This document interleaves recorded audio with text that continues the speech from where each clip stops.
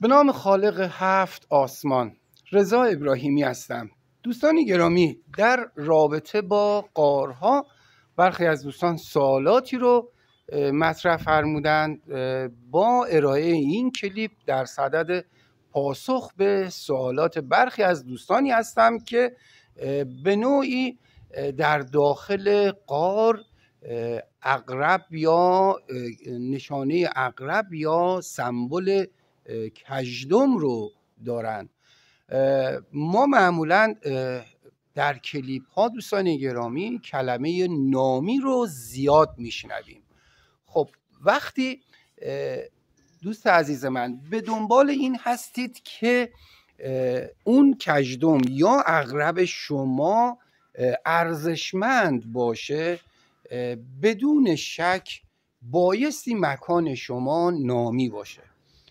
وقتی زنجیره اسامیتون کامل بود از بلندگاه تا پسگاه کوهتون کوه نامی بود تپتون تپه نامی بود قارتون حتی اسم قارتون قار نامی بود. مثلا در رابطه با کوه نامی شاه کوه نامی هست. قار شاه کوهی هست که قاری هست که نامی هست. در کنار در پیرامون قار در شاه قریب قار یا در شاه نزدیک قار شما چشمه نامی رو دارید. مثل شاه چشمه یا بابا چشمه یا چشم بیبی بی. عرض بنده این هست که بایستی مکان شما نامی باشه. وقتی مکان شما نامی بود اون قارتون شرایط خاص خودش رو داشت. هر قاری ارتباط به دفینه نداره. هر قاری بارگذاری نشده.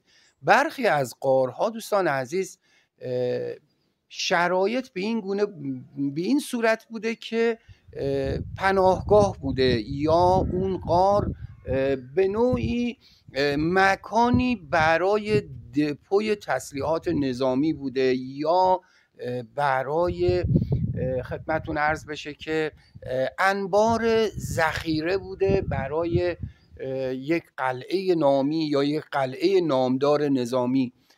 وقتی قار ما رو به طلوع آفتاب نباشه قار ما در بلندی باشه ورودی قار ما در استتار باشه. دیده نشه در ورودی قار یا در به ورودی قار مسدود باشه. ورودی قار حالت گربه رو یا سینخیز داشته باشه. درون اون قار اگر شما روی یک سنگی حکاکی یا حجاری یک اقرب رو دیدید بدون شک و یقین درون اون غار دوست عزیز من هدایای ارزشمندی وجود داره. خب وجود کجدم یا وجود اقرب بر روی یک سنگ درون قار نشانه این هست که شما بایستی تشریف برید انتهای قار در انتهای قار بر سطح زمین دقت بفرمایید. شما یقینا استارتری رو می‌بینید. یک استارتر در انتهای قار وجود داره.